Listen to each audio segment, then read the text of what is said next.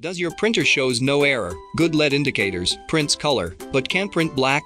Let me show you how to fix it easily.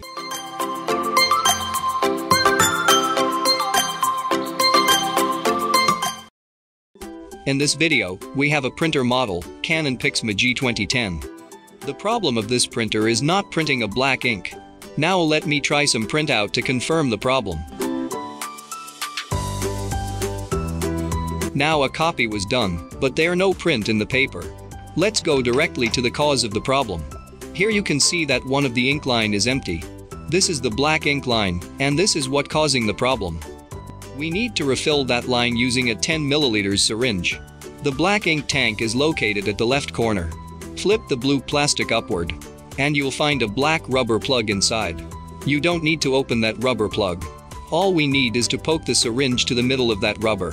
But before doing that, remember that while the blue plastic is standing up, it will block the ink line, and it will only let the ink flow when it's closed.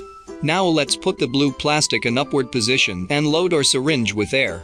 Gently plunge the syringe into the rubber plug. Fully inject all the air into the tank. And hold the syringe firmly to avoid the air to recoil. Close the blue cover for 3 seconds. Then open it again. And remove the syringe while still pressing the plunger. Let me show you what's happening in real time.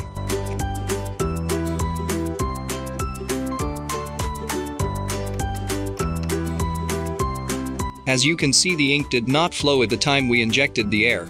The ink only flows after the blue cover has been closed. You can repeat this process if you wish. But make sure you have enough reserved ink. Now that the black ink line is now fixed, it's time to seal the pin hole.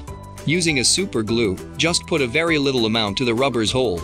Now let's print again.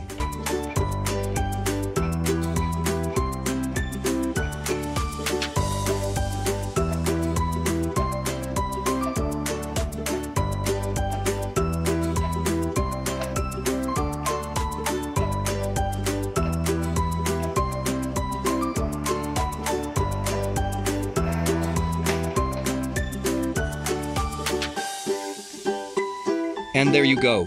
Your printer is fixed. If you like this video don't forget to subscribe and hit the thumbs up. Have a nice day and thank you for watching.